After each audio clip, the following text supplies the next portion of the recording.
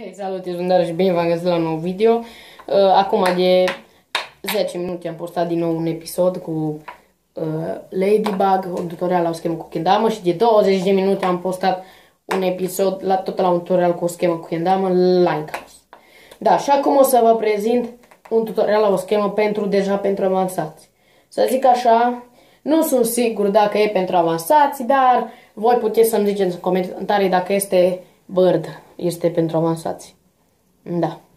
Nu sunt sigur dacă o să-mi iasă din prima, dar știu că mi iese. În principiu la această schemă, ia uitați cum țin eu chinul, așa țin, ia uitați așa. Uh, în principiu la această schemă trebuie să stea dama complet nemișcată.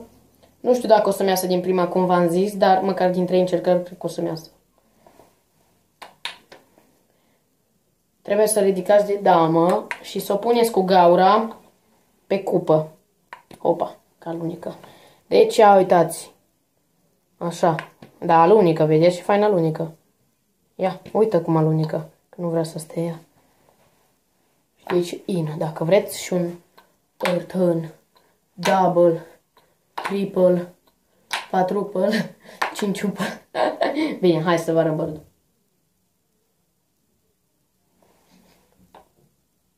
Acesta este bărdul. De aici puteți să o puneți aici. Deci să o întoarceți să o puneți tot pe bărdare aici. Sau să o băgați in, care nu prea mi iese, na. No. Uh, no. Deci la această schemă, în principiu, cum v-am zis, trebuie să țineți complet nemișcată dama. Și să țineți scenul un pic mai strâmb, să zic așa. Nu știu cum să zic. Dar, ia uitați, ia, cum vrea să pice. Eu o țin, nu știu cum să zic. Ia cum o picat, dar 103 secunde de se pune. Ați văzut cum am ținut-o. Ok. Uh, dacă v-a plăcut acest episod, nu uitați dați un like, un share, pentru că mă ajută foarte mult și cei care sunt noi pe acest canal, nu uitați să vă abonați.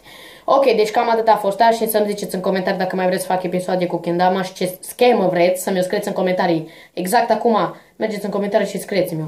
Ok, uh, cam atât a fost azi. Cu voi a fost Darius și cei care sunt mai pe acest canal, abonați-vă. Cam atât a fost azi, cu voi a fost Darius și noi ne vedem la următorul video. Pa!